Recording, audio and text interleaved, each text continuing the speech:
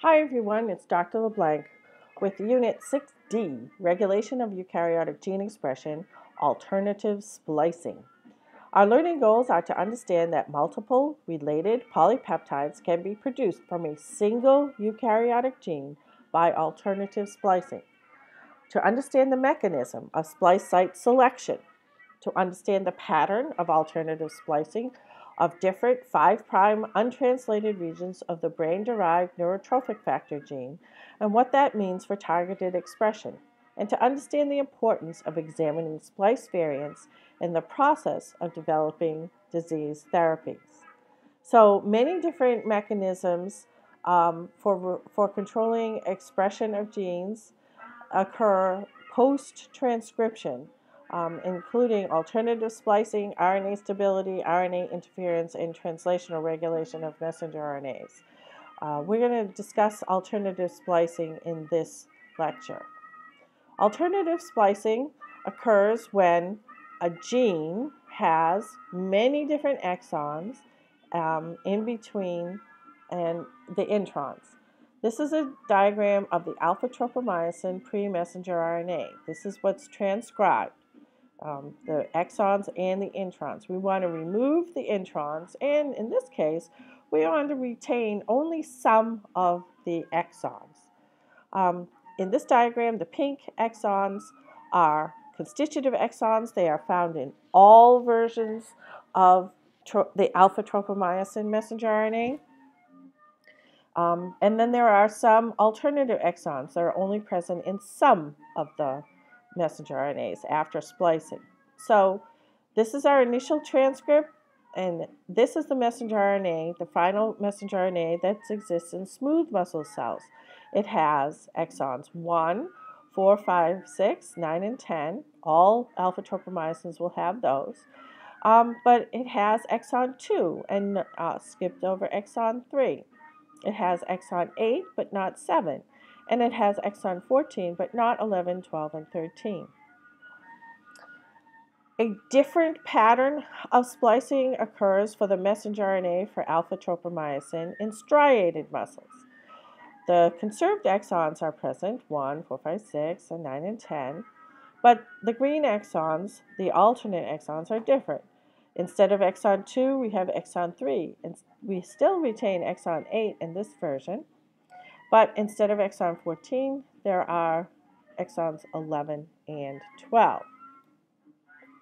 This is not a random event. It is a highly regulated event. So you can have splicing repressors. This is the normal pattern here for this example. You have four exons, the introns are removed, and the four exons are joined together. In the alternate splicing pattern, a repressor blocks the 3' splice site here.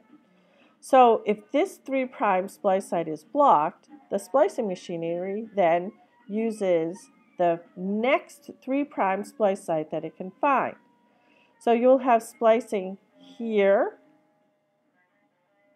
at the 5' end attached to this 3' end here. Okay, and you'll end up with exons 1, 3, and 4 in your messenger RNA, exon 2 will essentially become part of the intron that is removed when this 5' splice site forms a branch and then this 3' splice site is cleaved and the intron is removed. So that's what a splicing repressor will do. Some splice sites require the presence of enhancers in order for them to be utilized. So without those enhancers, this exon, excuse me, this exon will be removed. These uh, splice sites are not strong enough to be recognized by the normal machinery on their own, and this splice site will normally splice with this splice site. This 5' splice site will normally splice out an intron with this 3' splice site. So the messenger RNA that is normally produced is, has exons 1, 2, and 4, and not 3. If you have the splice site enhancers, however, this splice site, this 3' splice site will be utilized and you'll have an intron from here to here. And this splice site will also be utilized, and you'll have another intron removed from here to here, and exon 3 will be retained. So the mature messenger RNA has exons 1, 2, it has exon 3 and 4.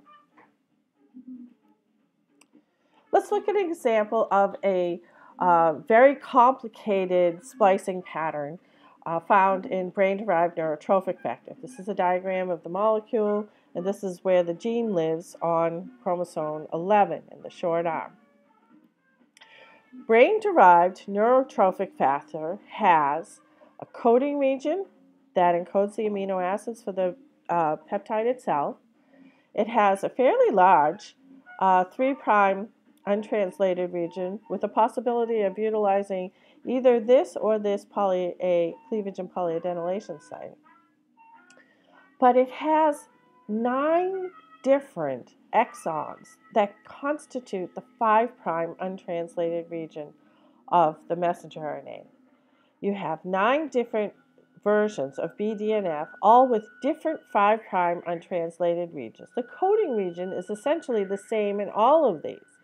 So the amino acid sequence of brain-derived neurotrophic factor from each of these different splice variants is not different. What's different is the 5' untranslated region. What can this be doing that's different, that's so important for brain-derived neurotrophic factor?